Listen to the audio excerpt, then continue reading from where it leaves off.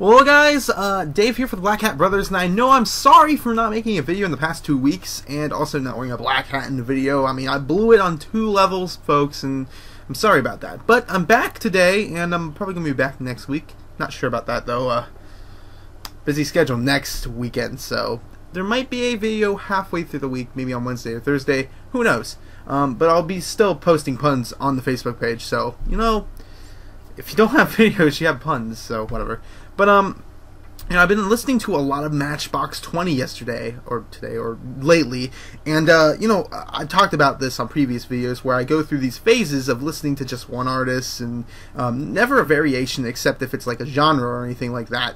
And uh, I go through these phases of just listening to one artist, and uh, this time, uh, this month or this you know week or these past weeks, um, it has been Matchbox 20, uh, and more specifically Rob Thomas. And uh, you know he is a great artist, and uh, I, I used to listen to his stuff a lot. It's just another artist where um, I've listened.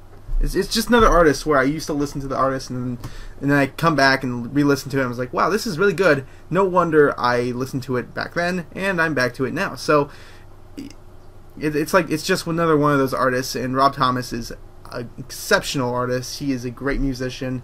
Um, he, I know he plays a very good variety of instruments, and he is amazing at uh, singing. His voice is amazing, and it's like it's that it's that kind of punk rock feel. Um, it, it's really good. He has a really good voice, and uh, you know, it's, it's, I've been listening to a lot of Matchbox Twenty, and uh, it's been good. It's been good, and uh, you know, I mentioned I've mentioned uh, you know listening to these artists, like these really good artists that I have not listened to in years, and it's coming back again. So, just another artist, and uh, it, has been good. It's been good. Uh, I've been listening to him for the past couple of weeks.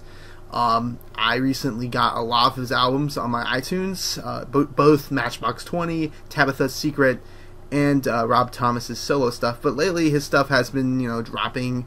Uh, I don't want to say it's terrible, but it's not as good as his older stuff. So if I, I if if um if you are planning to listen to Rob Thomas or Matchbox Twenty, uh, Matchbox Twenty, uh, it doesn't really matter. But Rob Thomas, uh, more importantly, um, if you're planning on listening to him, listen to his older stuff. Uh, I recommend his older stuff. Uh, you know, pre 2008 probably would be your best bet. Uh, I can't really list any songs, but just you know pre 2008 is your best bet. Any Matchbox 20 stuff is pretty good. Even the newer stuff, it's still pretty decent.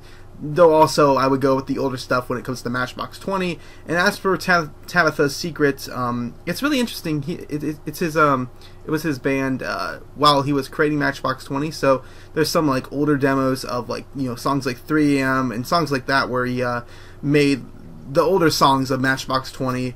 Um, there are some like very very early demos of those songs on the Tabitha Secrets ad- album. So Tabitha, Tabitha's Secret, I keep on saying it a lot, uh, was his band before Matchbox 20 back in the late 90s, 96, 97, uh, maybe 99. There's also some live shows with uh, his band from there uh, in early 2000s. So I, I, really like his music. Um, Rob Thomas, Matchbox 20, and Tabitha's Secret all like. So they're all really good songs. Uh, just go pre-dated 2008 on the Rob Thomas stuff.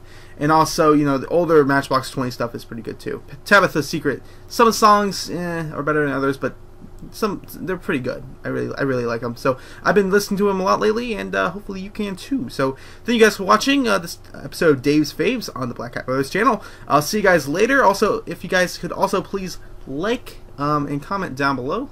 And uh, if you have not yet, please subscribe to the Black Hat Brothers. It would really help. It's really awesome. And also, I will be wearing a Black Hat Brother black and black hat. I'll be wearing a black hat in the next episode. So, thank you guys for watching. I'll see you guys next time. Peace.